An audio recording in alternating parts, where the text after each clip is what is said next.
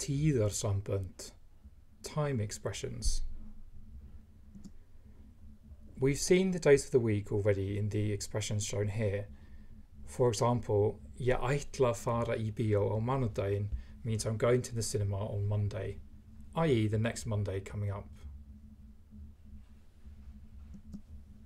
However, if we want to talk about a habit or a routine, we need to use a slightly different set of expressions.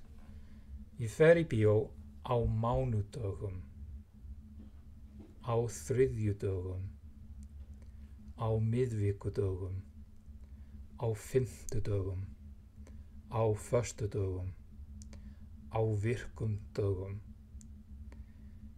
á laugadögum, á sunnudögum, um helgar. So we have on Mondays, on Tuesdays, on Wednesdays, on Thursdays, on Fridays, á virkum dögum, on weekdays.